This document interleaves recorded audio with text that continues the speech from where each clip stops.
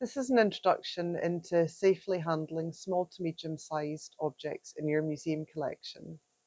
All of us handle a variety of objects every day cups, clothes, vases, phones, bags. So, why do we need training in something so straightforward and simple?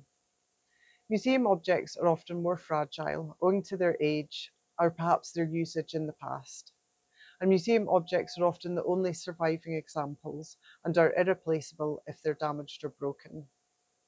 Donors and lenders and the public expect museums to be safe places for artefacts and for us to care for these for current and future generations. Poor handling of objects can be a common cause of unnecessary and sometimes permanent damage. So the first thing we need to ask ourselves is, do we really need to handle or move this object? If the answer is no, then just don't move it.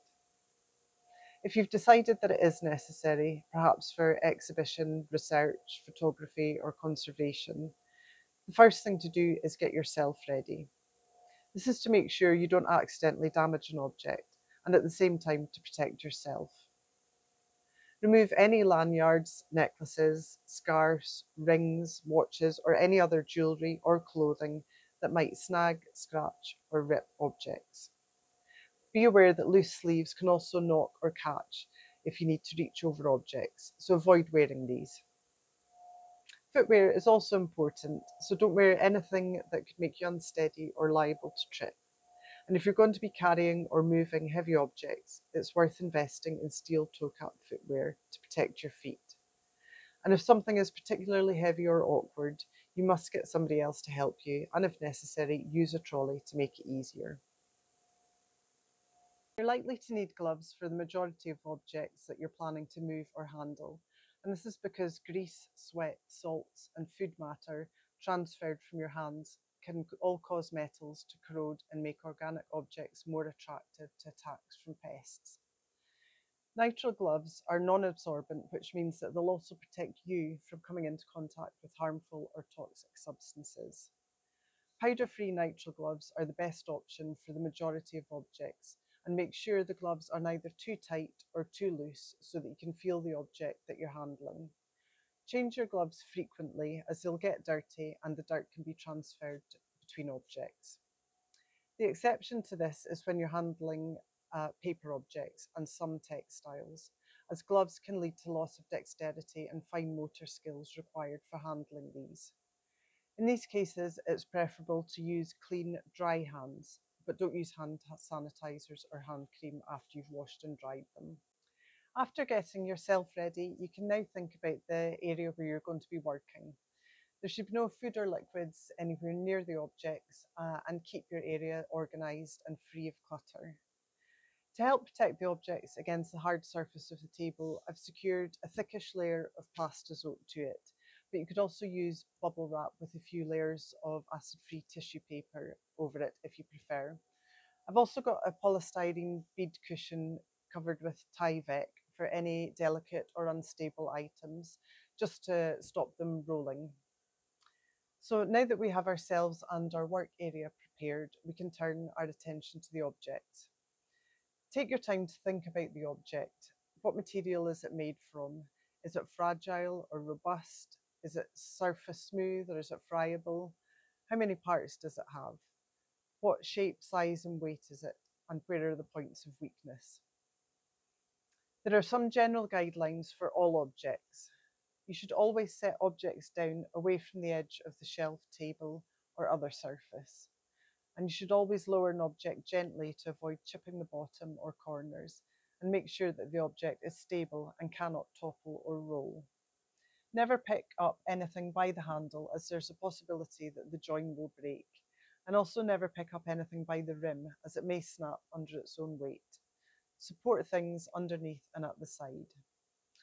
Don't pick up two objects at once and if there are multiple parts to an object then handle them separately. But now we can move on to the objects. Um, ceramics and pottery are easily broken, so extra care should be taken when handling them.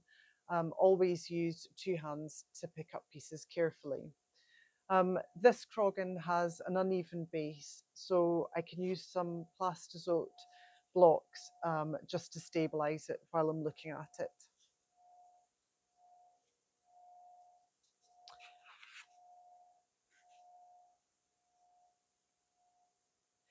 Keep an eye out for any repairs that might have been done in the past, as this could be a point of weakness, um, along with any hairline cracks. You can see that the Crogan has a number of fine line cracks from the rim down to the body. So be aware that this will be an area of weakness for this object. Also, always be aware of outstanding and protruding decoration as this may easily be chipped. This teapot has two spouts, a handle, round feet at the base and a lid. All of these areas could be susceptible to damage when handling or moving it. Always check whether lids are fixed or loose, and if they're loose, take it off and treat it as a separate item. Even if the lid is attached, always support it when turning the piece upside down, and try to never pick up a lid by the knob or by the handle. Like ceramics and pottery, the biggest risk to glass is breakage. So handle these objects in the same way, but be aware that crizzled glass will shatter with only a light tap so be extra careful when setting down onto a surface. Clouded and iridescent glass will lose its surface easily if handled carelessly or too often. And also be aware that some glass objects contain liquids and specimens, so I take extra care when packing and moving these items. Keep any items containing liquid in a tray to help limit damage if there is any leakage. Old fibres lose their elasticity and become brittle and snap. So regardless of how they look, all old textiles should be handled as if their condition is fragile. When working near textiles, only use pencils to record information so that there's no risk of ink staining from pens, and don't lean on textiles or place any pressure on them. Extra care should be taken with fastenings, particularly hooks and eyes, and with any decoration such as tassels, beading or sequins. Small textiles should be laid out flat on foam board or a tray. Larger items can be supported by both arms with a layer of acid-free tissue or Tyvek between your arms and the textile to make sure that your clothes don't get caught on it. If a textile is particularly long or heavy, ask someone else to help you with it so that it doesn't drag or trail on the floor and if it's particularly fragile, seek the advice of a conservator. Metals are particularly susceptible um, to bare hands as skin acids can cause corrosion and result in rapid tarnishing. So always wear gloves when handling metals. Soldered joints and other joints are often weak and uh, should be handled with care, especially knobs and handles. Some metals like lead can be soft and easily damaged or scratched, and thin, delicate metal objects can be easily bent or dented, so handle these types of material gently. Stone artifacts and rock and mineral specimens may appear robust, but they can be easily chipped or broken, and they can also be very heavy. Large pieces of stone will always need several people to carry them safely and may need specialised equipment such as a forklift or pallet truck. Never try to move a piece of heavy stone with insufficient personnel and equipment. This is to protect yourself and the object. Smaller stone artifacts and rock and mineral specimens should be treated like ceramics or glass, but because the weight can make them hard to control, stone is at most risk from being set down. Make sure there is plenty of padding in place before you move to avoid chipping corners. A quick word about boxes. Um, don't upturn boxes uh, until you've checked the contents inside, as there may be loose items that might rattle around and be damaged. If locks or fixings are hard to open, don't force them, seek advice from a conservator. But if you can open the box, make sure that the hinges of the lid are supported while you're inspecting the contents. I've used a square of Plastazote here. It's essential to wear gloves when handling photographs, negatives, or glass slides, as oil, sweat, and acids from the hands can cause permanent damage. Even when wearing gloves, avoid touching the image as much as possible. Photographs should be stored in archival Melinex pockets or sleeves and only be moved from these if it's unavoidable. These pockets will allow you to see the image clearly while protecting it, and you can also write the accession number on it for easy identification. If you do have to remove the image, never allow your fingers to touch the surface of the photograph or negative. Hold them by the edges only, with your fingers at right angles to the print or negative. But what if the worst happens?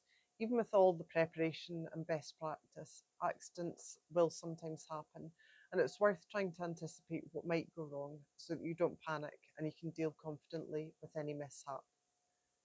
Clear all unnecessary people from the area and create a no go zone around the object that's large enough to include all the debris that might be useful for repair. Photograph the object and debris where it lies. This can be helpful for conservation and repair. Search the area carefully and systematically and collect all the pieces into a tray.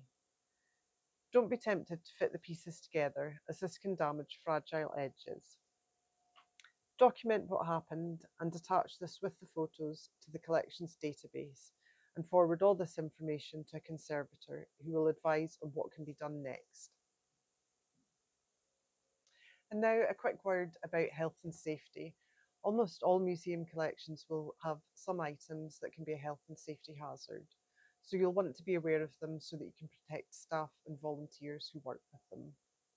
Using gloves will usually mitigate most risks.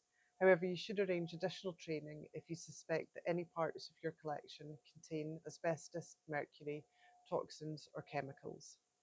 Asbestos can be found in World War II masks, and some Bakelite items and other items associated with heat and electricity, and it's worth considering having your collection assessed for asbestos.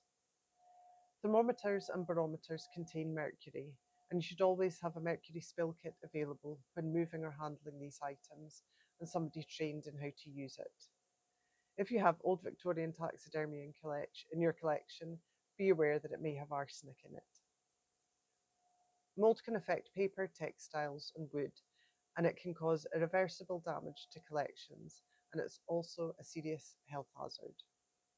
If you're handling mouldy material, you'll need PPE, including masks, goggles, and gloves, and it's worth getting advice from a conservator if you think that you have mould in your collection. In summary, only move an object if it's absolutely necessary.